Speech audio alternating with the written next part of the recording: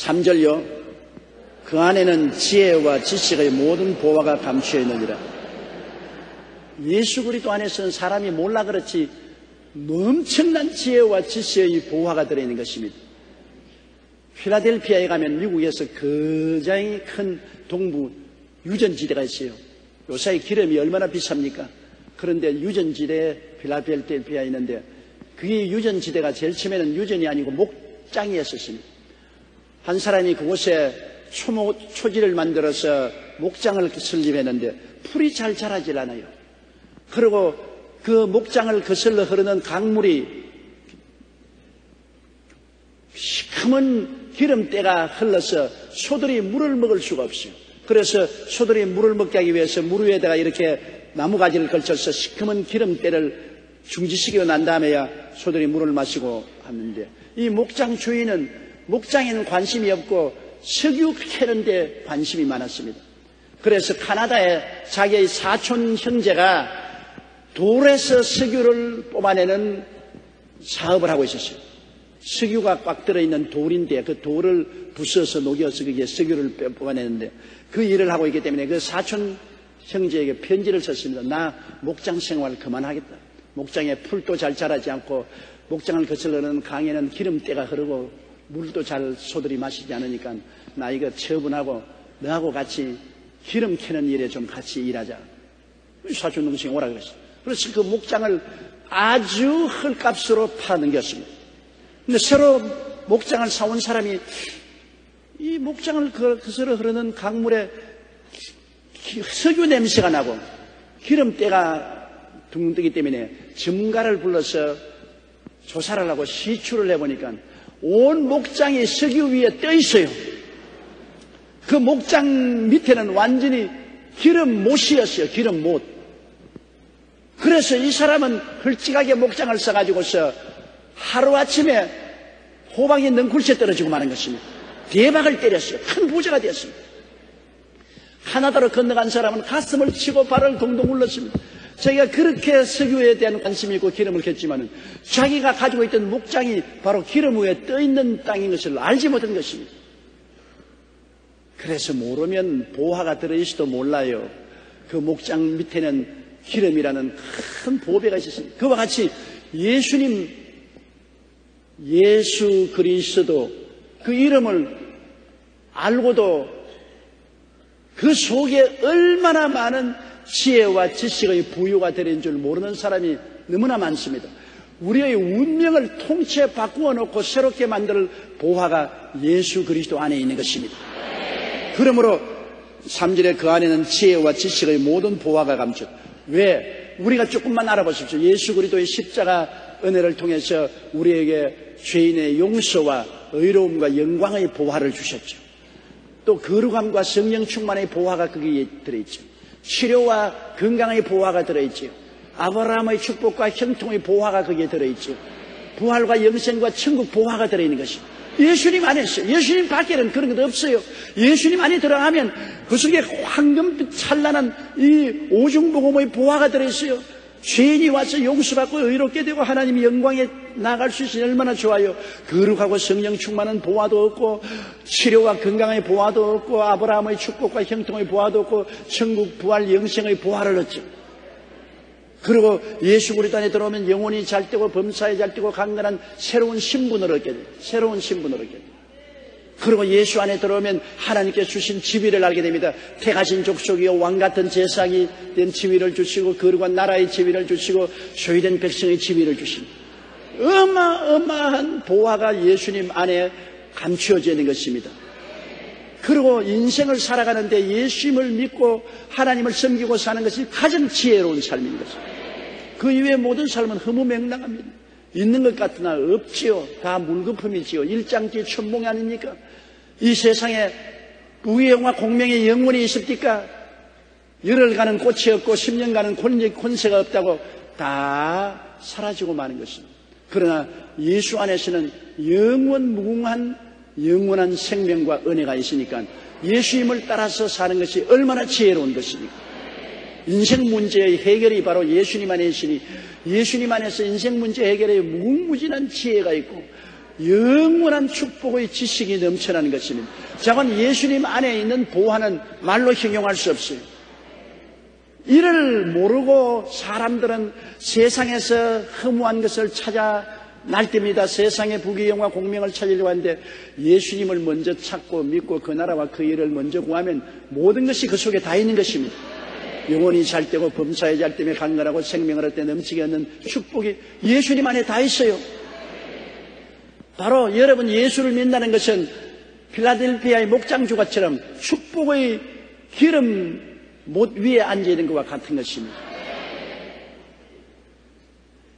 이라크 북부에 요사이 전쟁을 한참 하는 이라크 전지가 이라크 북부에 조그마한 강가에 아름다운 모래사장이 있고 거기에는 농토가 있는 곳에 조그마한 초막을 짓고 한 사람이 잘 살았어요. 그런데 하루는 이슬람교의 성녀한 사람이 찾아와서 저녁을 먹으면서 하는 말이 뭐냐면 자네 여기서 이렇게 가난하게 농사 짓고 백날 살아봤자 뭐가 되겠는가 이 세상에는 다이아몬드라는 것이. 다이아몬드라는 것이 반짝이는데 이 다이아몬드를 캐면은 자네도 부자가 되고 고대광실 큰 집을 짓고 살게 되고 자네 아내도 행복을 줄 수 있고 자식들은 다 영국 런던에 보내서 인류 대학을 졸업시켜서 굉장히 사회적으로 높은 지위를 얻게 만들 수가 있다. 다이아몬드를 캐면 신세를 완전히 바꿀 수가 있다. 이 사람이 그걸 듣고 난 다음 그 다음부터는 그 성녀가 집을 떠나고 난 다음 정신이 나갔어요. 자나 깨나 다이아몬드 생각만 합니다. 그래서 에라 이 다이아몬드를 캐면은 내 일생이 달라진다니까 그 농토도 팔고 집도 다 팔고 그 가족들은 임시 거치할 처소에 두고 다이아몬드를 캐기 위해서 그는 출발했습니다. 온 영국 땅을 다 돌고 구라파를 다 돌면서 산이 난 산, 들이 난 들은 다 헤매면서 다이아몬드를 찾아 다니다가 찾지 못하고 몸은 지치고 병들고 여비는 다 떨어지고 올 때갈때 없이 이태리의 나폴리 항구에서 울고 앉았다가 강에 뛰어들어가서 자살해버리고 말았습니다.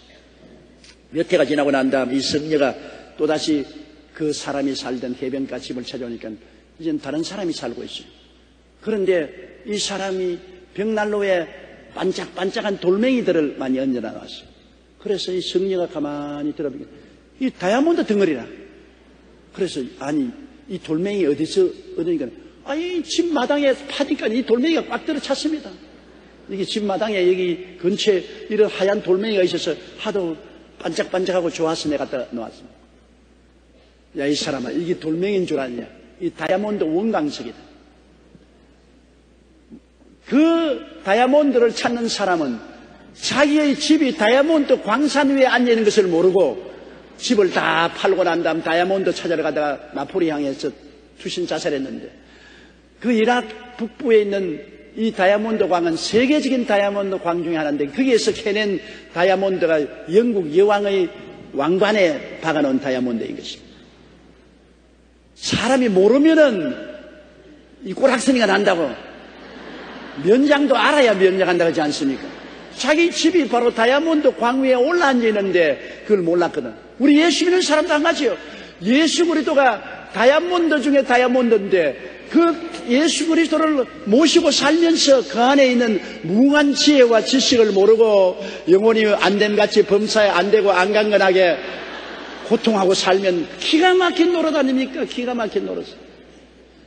알아야 돼요. 그래서 호세아가 말하기를 내 백성이 지식이 없어 망하는도다. 모르니까 망하죠. 지혜와 지식이 없으면 망하지 않아요. 그 지혜와 지식의 무궁한 보고가 예수님 안에 있는 것입니다. 예수님 잘 모시고 예수님 잘 믿고 예수님 안에 진리를 깨닫고 믿음으로 기도하면 인생이 기가 막히게 되는 것입니다. 나를 믿는 백성은 머리가 되고 꼴이 되지 않고 위에 있고 아래 내려가지 않고 남에게 꾸어줄 줄을 꾸지 않겠다고 말한 것입니다. 이와 같은 위대한 축복이 예수님 안에 감추어 있습니다. 그 안에는 지혜와 지식의 모든 보화가 감추어 있느니라. 사절요. 내가 이것을 말하면 아무도 공교한 말로 너희를 속이지 못하게 하라니. 이렇게 예수님 안에 지혜와 지식이 있지 예수님 밖에는 없습니다. 그러니까 엉터리 이단과 사설이 와서 예수님 제껴놓고 자기가 재림주라니 자기가 엘리야니 자기를 믿어야 된다니 이런 흩은 소리 공교한 말에 속아 넘어가면 정말 박살나요. 우리 한국에도 여러분 정말 이단 천지라고 하지 않습니까? 자기가 재림주라는 사람이 없나? 자기가 엘리야라는 사람이 없나? 뭐 자기가 하나님이라는 사람이 없나? 자기가 성령이라는 사람이 없나? 온갖 이단 사설들이 다 있어. 사탄이 사람을 미혹하기 위해서 공교한 말로 꿰는 것입니다. 예수님 이외에 그런 데 속아 넘어가면 참 팔짝 끄벅끄벅하게 되는 것입니다. 완전히 박살나요. 예수님 속에서만이 지혜와 지식의 모든 부유가 다 들어있고 모든 하나님의 비밀이 다 들어있는데 예수님 제껴놓고 다른 소리 하는 것 여러분 속아 넘어가면 안 됩니다. 가장 괴로운 것은 한국의 이단 사설들이 있는 곳에 모인 데 가면 꼭 순보험 교인이 있다는 겁니다. 교인이 하도 많으니까 온갖 사람들이 다 있어가지고서 그런 데 가서 남 챙피를 치게. 예수 그리스도 만왕의 왕 만주의 주 이외에는 우리를 구원할 길이 없다는 것을 우리가 알아야 되는 것입니다. 어떠한 것도 공교한 말로 속이면 안 되는 것입니다. 5절요. 이는 내가 육신으로는 떠나 있으나 심령으로는 너희와 함께 있어 너희의 규모와 그리스도를 믿는 너희 믿음의 굳은 것을 기쁘게 봄이라. 우리 사람은 영혼이 육신 속에 들어있지 않습니까? 영은 하나님의 형상과 모양대로 지었습니다. 영은 여러분 시간과 공간의 장애, 장애, 방해를 받지 않습니다. 육신은 3차원의 세계 속에 있지 않습니까? 시간과 공간과 물질의 제한을 받죠. 그러나 영은 이 제한을 뛰어넘습니다. 그래서 영은 시간도 뛰어넘고 공간도 뛰어넘어서 하나님 안에서 어느 곳이나 가 있을 수가 있는 것입니다. 여러분, 여러분 마음은 여기 있어, 어, 몸은 여기 있어도 뉴욕에 있는 여러분이 자녀를 위해서 엎드려 기도하면 여러분 영은 벌써 뉴욕에 가 있는 것입니다. 여러분이 저 아프리카에 있는 선교사를 위해서 엎드려 기도하면 여러분 영은 성령과 더불어서 이미 아프리카에 가 있는 것입니다. 우리의 영은 시간과 공간의 장애를 받지 않습니다. 우리가 죽어서 우리 영이 육체를 떠나면 천당 가는데 여러분 일주일 걸리고 한 달 걸릴 줄 압니까? 육신을 영, 떠나자 말자 우리는 천국에 가 있는 것입니다. 내가 육신을 떠나면 즉시로 그리스도와 함께 있게 되는 것입니다. 왜? 우리 영은 시간과 공간의 장애가 없습니다. 그러므로 우리가 육신은 떠나 있으나 주 안에서 기도하면은 영으로는 언제나 같이 있을 수가 있는 것입니다. 영으로는 같이 있을 수가 있어요. 이게 우리 사람이 동물과 다른 것입니다. 동물은 육체로 있기 때문에 육체로만 살지만 영으로 있는 사람은 시간, 공간을 초월합니다. 우리 북한에 있는 교인들을 위해서 기도하면 우리가 휴전심도 뛰어넘고 모든 군대를 뛰어넘어서 우리 영이 그들 있는 곳에 성령으로 더불어 가서 위로하고 힘을 주고 격려해 주는 것입니다. 영은 시간과 공간을 기도를 통해서 초월하는 것입니다. 바울 선생은 육체로는 그 멀리 있는 교인들하고 떠나 있었지만은 골로새에 있는 교인들하고 떠나 있었지만은 기도할 때 영으로는 그들과 같이 있어. 그들과 함께 있다는 것입니다. 그러므로 기도라는 것이 얼마나 놀라운 일인 것입니다. 기도는 시간을 뛰어넘고 공간을 뛰어넘습니다. 우리 월남 전쟁 때 우리 성도들이 많은 아들들이 월남에 가서 싸웠어요. 그때 어머님들이 그냥 예간장에 타서 새벽기도, 철야기도 와서 부르진 그때마다 내가 한 말 했습니다. 아들을 위해서 기도 많이 하고 방언으로 기도하고 기도 많이 하십시오. 왜냐하면 기도할 때 그 기도가 성령을 통해서 아들과 같이 하십니다. 몸은 떠나 있으나 영은 성령을 통해서 아들과 같이 있습니다. 아들에게 희망을 주고 위로를 주고 인도해 주고 지도해 주고 도와주시는 것입니다. 그렇게 하십시오. 나는 어떤 그 우리 일선에 가서 싸우다가 월남에 가서 싸우다가 온 사람 이야기를 들었는데 적군의 포탄이 비 오듯이 떨어지고 그런데 자기 저 앞자리에서 포탄이 탁 떨어져 터지는데 보통 포탄이 한 번 떨어진 자리에는 두 발째는 안 떨어지기 때문에 대개 한 번 포탄, 이 떨어져서 터진 그 자리에 뛰어 들어가야 피할 수 있습니다. 그래서 포탄이 확 떨어져서 쾅 터졌기 때문에 그 자리에 뛰어가려는데 머리에서 누가 주먹을 잡듯이 목을 잡는 들어가지 마라! 그더랍니다. 그래서 그 자리에 엎드렸는데 바로 그 자리에 포탄이 2탄이 떨어졌어요. 들어갔으면 죽었어요. 그래서 나에게 간정했습니다. 어떻게 해서 누가 내게 그 자리에 들어가지 말라 고함을 치는 상식적으로 우리는 살기 위해서 뛰어 들어가는데 그 자리에 못 들어가라 해서 안 들어가서 내가 살았. 그것은 그 어머니가 주야로 엎드려서 하나님께 기도했습니다. 그 음성은 바로 그 기도의 음성이 성령을 통해서 들려준 것입니다. 그 기도가 효과를 발생한 것입니다. 기도가 그 놀라운 일을 역사한 것입니다. 이러므로 기도는 시간과 공간을 초월해서 역사한다는 것을 잊지 말아야 되는 것입니다.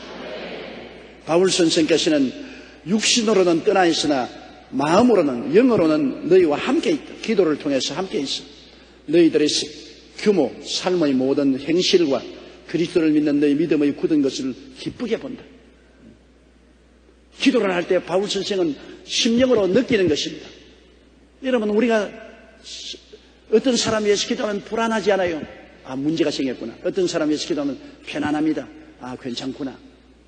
그거 우리 심령의 눈으로 보는 것입니다. 바울 선생이 골로세와 라우디게에 있는 교인들을 위해서 기도할 때 그의 마음속에 아 참으로 신앙을 올바르게 하고 있구나 규모가 생활 규모가 반듯하고 그 다음에는 믿음이 굳건하고 하는 것을 심령으로 느낄 수가 있어서 그는 기쁘다고 말한 것입니다.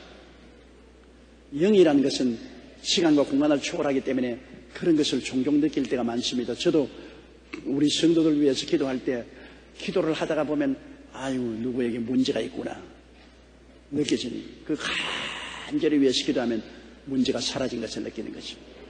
나는 우리 교회 자매님 한 분 남편이 이 시외버스 운전을 하는데 그 자매님이 그 간증을 해요.